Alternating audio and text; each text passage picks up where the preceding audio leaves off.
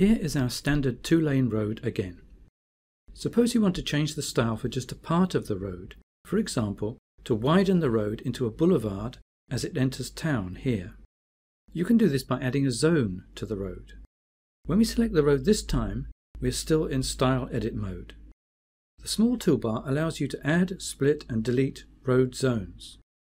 Select the style you want for the zone, and then use the sliders to define the start and end points. Now there is a smooth transition between different styles at the appropriate point in the roadway.